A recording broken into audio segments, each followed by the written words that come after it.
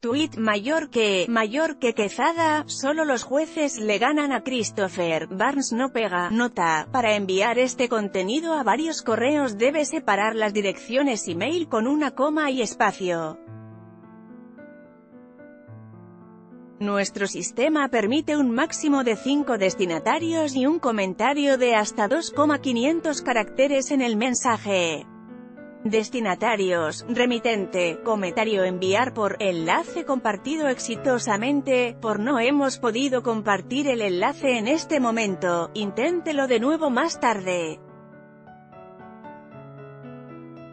Mayor que, mayor que Quezada, solo los jueces le ganan a Christopher, Barnes no pega. El combate entre González y Barnes se celebrará este sábado en Belfast, Irlanda del Norte, a partir de las 2.00 pm. La pelea será transmitida por Canal 4. Si hay un peleador que conoce bien a Christopher, el látigo, González y Paddy Barnes, rivales este sábado en Irlanda del Norte, es el muchacho Eliezer Quezada. Los enfrentó y perdió ante ambos, al primero le hizo un gran pelea sucumbiendo al final por decisión dividida y contra el segundo sucumbió por nocaut en siete asaltos en Belfast.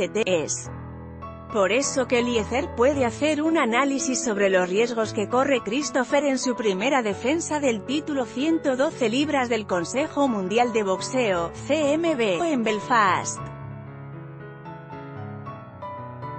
Quezada, sin involucrar el patriotismo natural que siente porque un estará en acción representando al país, considera que González retendrá el cetro sin problemas. Su pronóstico es que la pelea finaliza antes del noveno asalto. Debe ganar Christopher. Barnes no pega, solo sabe manejar bien la distancia. Cuando yo peleé con Barnes iba mal preparado, solamente fui a marcar el peso, creo que el Nika triunfará por nocaut antes del noveno asalto, opina Quezada.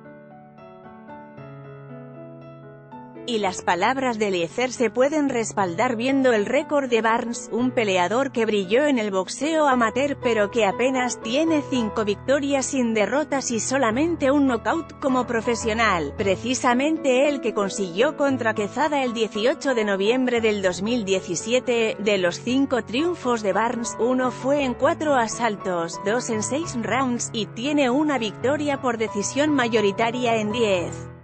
El norirlandés nunca, en su corta carrera profesional, ha caminado 12 rounds. Barnes, después del sexto empieza a bajar porque él está acostumbrado a pelear 4 rounds.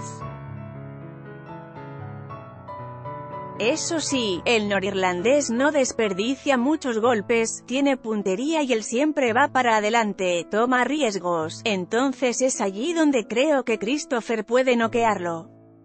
Barnes tiene que tomar la iniciativa porque es el retador, llévalas de perder en ese sentido, agrega Quezada. Aun con todo el favoritismo que tiene Christopher, Quezada le aconseja acabar con el enfrentamiento lo más pronto posible.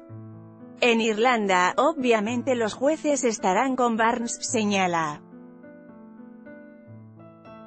Si Barnes llega a las 12 asaltos y es una pelea cerrada, allí sí se le complicaría la pelea a Christopher, se estaría exponiendo a un robo, es que sinceramente solo los jueces le pueden ganar a Christopher, no creo que sienta los golpes del norirlandés, no pega, yo perdí contra él porque iba mal.